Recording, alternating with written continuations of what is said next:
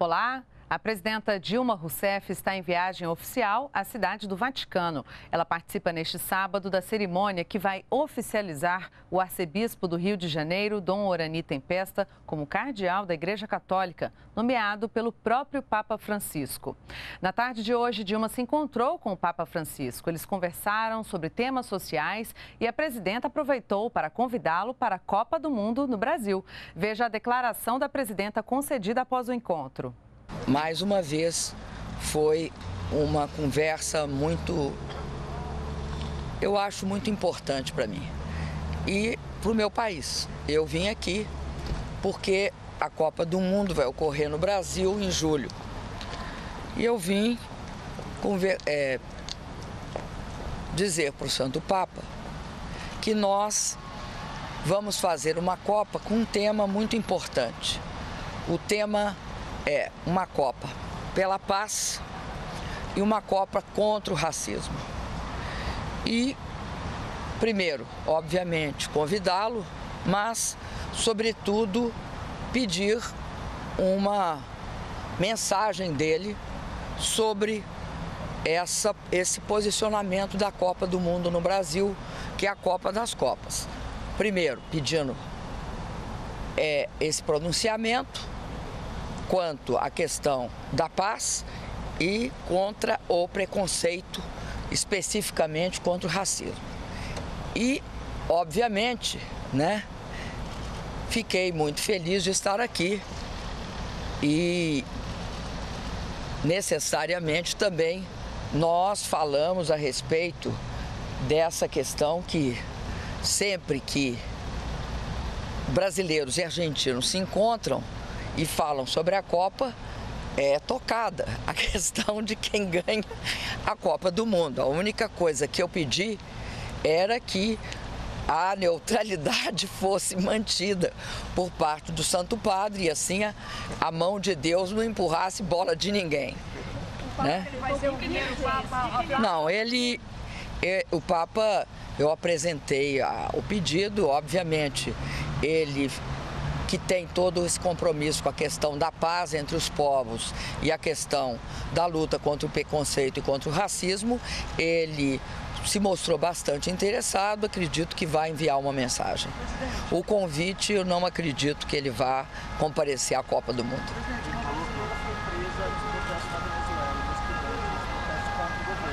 O governo brasileiro pode fazer alguma coisa por ela? Como que a senhora está vendo esses últimos episódios? Olha, o governo brasileiro, quando tem qualquer ato envolvendo cidadãos brasileiros, nós agimos junto ao governo, como fazemos em todos os casos. Agora, quanto à questão interna do país, eu não me manifesto. Agora, o Brasil vai apoiar a, a moça, vai interceder por ela, vai defendê-la, como nós sempre fazemos quando se trata de cidadãos brasileiros em qualquer parte do mundo. Presidente, a senhora foi informada que o pedido de extradição do Renato chegou? Não, não foi. E a senhora pretende discutir isso? Existe a possibilidade de a senhora se encontrar amanhã com o presidente Jorge Napolitano? A senhora pretende tocar nesse assunto com ele, já que é uma questão cara? Olha, eu tenho é, todo o interesse de encontrar com o presidente Jorge Napolitano. Acontece que amanhã tudo indica que vai ser formado o novo governo. Então, as possibilidades de agenda do presidente não estão abertas ainda.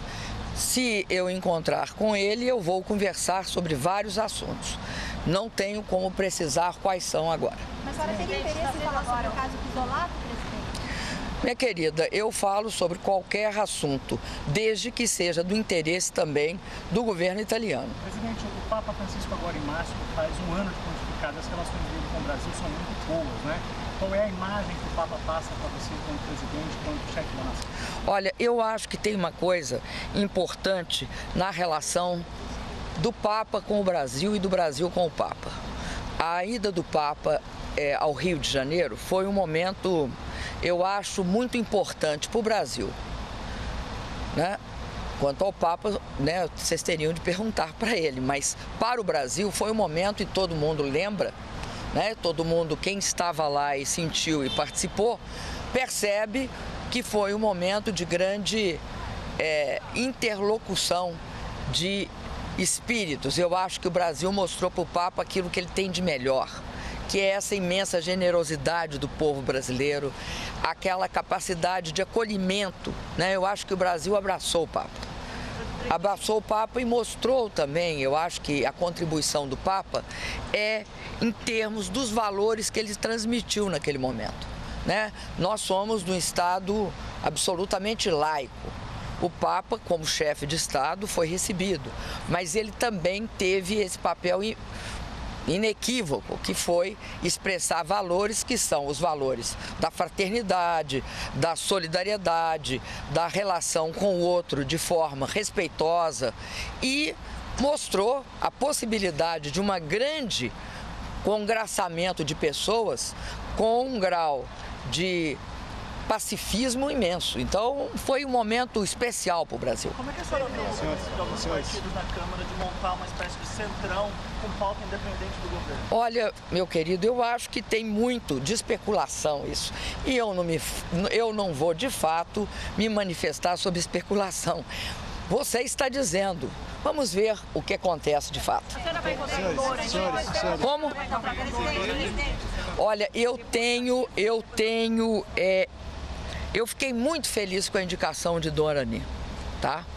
Eu acredito que foi mais uma, mais uma manifestação, né? É, muito boa que o Papa é, teve em relação ao Brasil.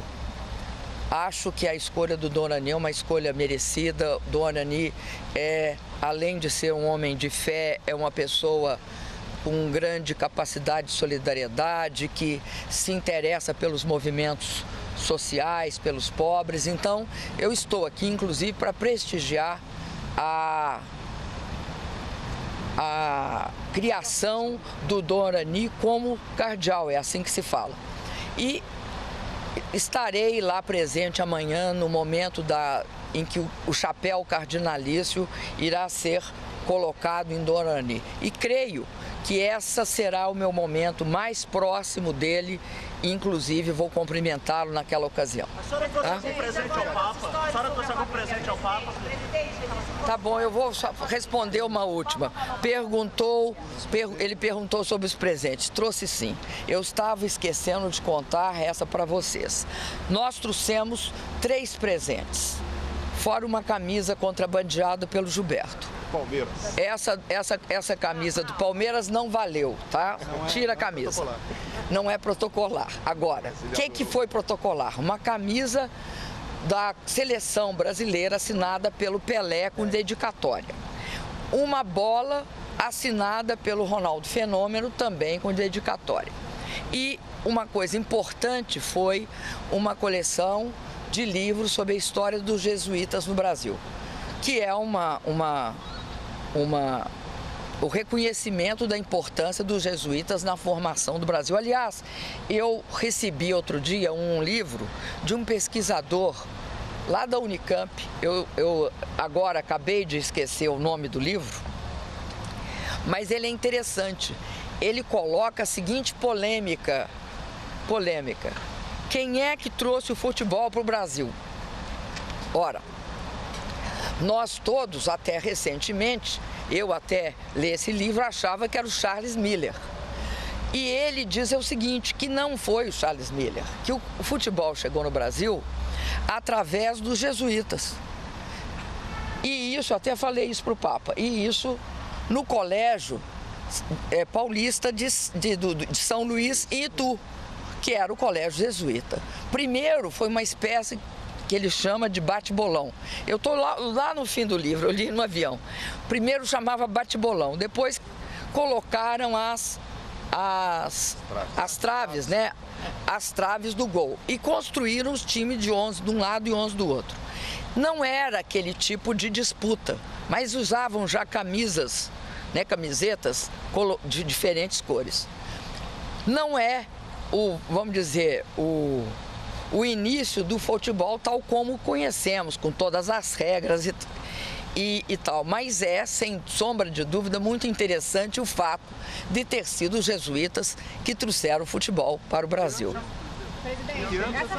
No final do século XIX, 1800 e lá no final do século XIX. Eu possivelmente fico para a missa. Um beijo para vocês. Recebi, recebi, recebi alguns presentes para o Papa. Recebi um, um terço, uma, uma, uma imagem muito bonita do Anjo da Paz e uma medalha para minha filha, que ele me entregou da forma assim muito humana que ele tem. Muito obrigada, gente. Você acompanhou a entrevista concedida pela presidenta Dilma Rousseff após encontro com o Papa Francisco no Vaticano. A presidenta convidou o Papa para a Copa do Mundo no Brasil. Dilma destacou o tema do Mundial, uma Copa pela Paz e contra o racismo. Ela falou também sobre a indicação de Dom Orani Tempesta como cardeal da Igreja Católica. E nós podemos voltar a qualquer momento com outras informações sobre a viagem da presidenta Dilma. Continue com a gente, NBR, a TV do Governo Federal.